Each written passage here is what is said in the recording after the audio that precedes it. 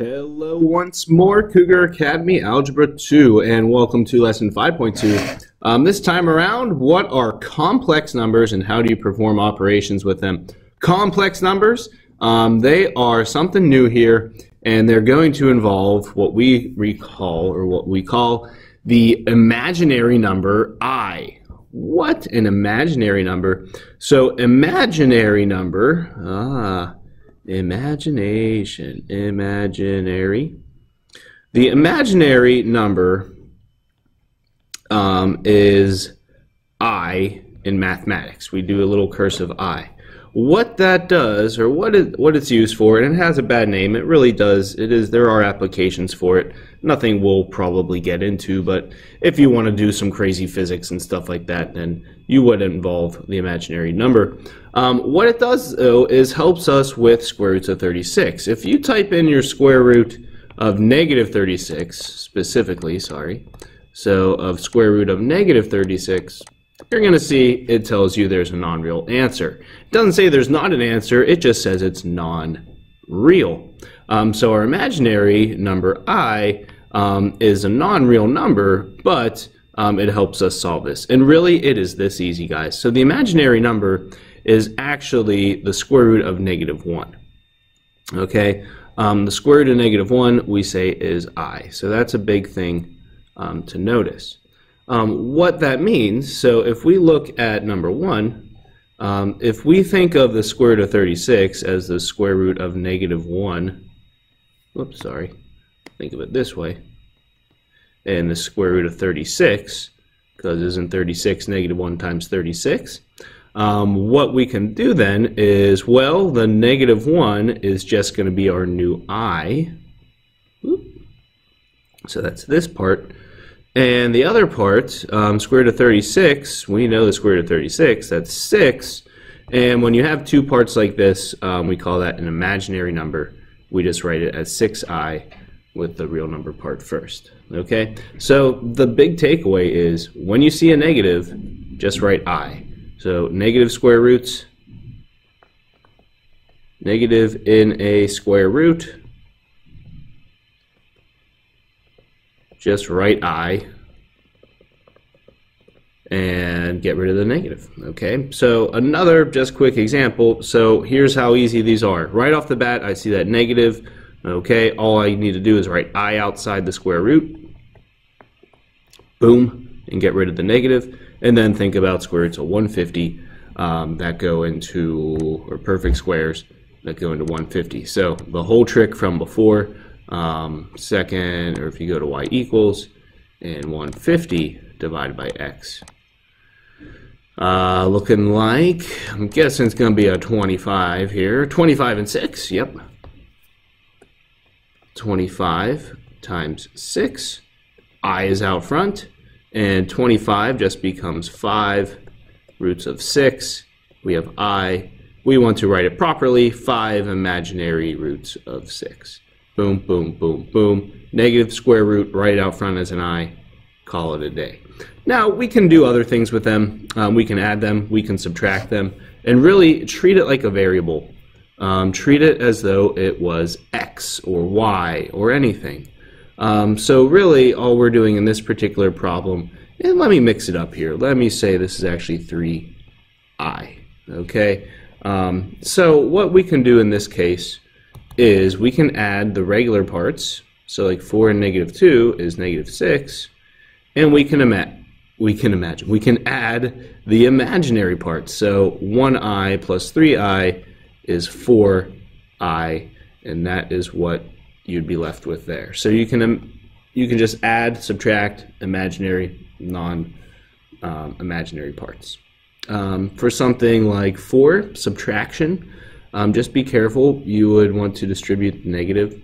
So this is plus seven plus seven i. And now you're just adding the like terms, 8 and 7. So I have negative 1 imaginary things. Um, 7 plus 7 is 14, um, and that's how we write it. Typically, you want the regular number first, and then you want imaginary stuff after. Okay? Um, so adding, subtracting, treat it like a variable. Um, where it gets more interesting is when we're multiplying complex numbers. Okay, so similarly, how the square root of negative 1 is i, if you square i, that's equal to negative 1. Multiplying is going to use this little property. So you're going to, again, treat it like a variable. We're going to distribute. 6 times 8 is, oh my gosh, one of those days. But it's okay, showing you to use your calculator. Uh, 48, yes. 48 and i. Okay, now 6 times negative 7 is negative 42. i times i, and I like to put it in parentheses, is i squared. Okay, remember, i, i, i squared. Now, here is the trick. We can exchange i squareds for negative 1. Okay, so 48i minus 42, and it's going to be multiplied by a negative 1. So we're multiplying here. Um, so 48i minus, actually plus 42, negative 42 times negative 1. And then if you just want to rearrange it so it is properly written, that would be wonderful. Okay, so i times i is i squared, eh, which is negative 1. Okay, so another multiplication example here for number 6. Um, good old FOIL is back. So um, a lot of the properties still apply, so we're just going to remember i squared, if we see that, um, is negative 1. Okay, so our first is negative 8 times 8, which is negative 64. Our outers is negative 8 times um, 8i, so negative 64, just a regular i. Um, inners is positive 64i, and our lasts are positive 64i squared. Okay, um, so adding like terms. Ah, oh, the neat thing here. Let's see, negative 64 and positive 64. Those are gone. That won't always happen, but in this case, it does. So I have negative 64. Okay, um, plus 64. Replace the i squared with negative 1. Um, and again, you're multiplying these. So negative 64 minus 64, and that comes out to be negative 128. Okay, so a whole bunch of magic happens with that one. Be careful with the negatives and everything. Students have a tendency to want to add here. You're multiplying, not adding. Okay, okay, so really just treat i like a variable and swap it if it's i squared. Um, one of the most challenging things with dividing complex numbers is we don't like imaginary things in the basement. Um, we don't want imaginary numbers in the denominator. Um, so dividing complex numbers, no imaginary denominators. Um, what we do to get rid of that is we're going to multiply by something we call the conjugate. Um, the conjugate, and we did some of this with square roots, or you should have in the past, the conjugate deals with negative 5 plus 4i. What we're going to do is multiply it by almost the same thing, negative 5, only minus 4i. Minus 4i. So that's what we refer to as the conjugate. The same thing as this denominator, only the signs are different. For example, let me just write down some conjugates. Um, so negative 2 um, plus i, its conjugate is negative 2 minus i. Um, 4 minus 6i, its conjugate is 4 plus 6i. Um, 3 minus i, its conjugate is 3 plus i. So those are conjugates and examples. If you have one, you just multiply by the other. Here's what happens. Um, 6i, so you're going to have to distribute, is negative 30i um, times uh, negative 4i, so that is 24 minus 24 and i squared. Our denominator, we have some FOIL to do, but it's not too bad. So negative 5 times negative 5 is negative 25. Uh, positive 25. Um, negative 5 times negative 4 is positive 20i. The insides are negative 20i, and the lasts are negative 16i squared. And then some things happen. Um, so first off, we can look at the top, negative 30i minus 24 times negative 1, because I replaced the i squared. The denominator, some things happen. Our i's are going to cancel because one's positive, one's negative. So I have 25 minus 16 times negative 1. Once again, replace your i squareds. And then so really, this is negative 24 times negative 1 is positive 24 minus 30i all over um, 25 plus 16, which comes out to be 24 minus 30i all over 25 plus 16, uh, 41, I believe. Yep. And that's it there. So that is your final answer, no imaginary things in the denominator. We do like to get rid of those. Okay?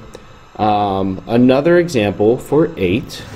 So again, we're going to start by multiplying by the conjugate. The conjugate, you want to take a guess, you can write it down now, negative 8 minus 4i. The negative in front of the 8 does not change. The only thing is this sign here. FOIL the numerator, FOIL the denominator. 8 um, plus 4i minus 56, I believe. 8 times 7.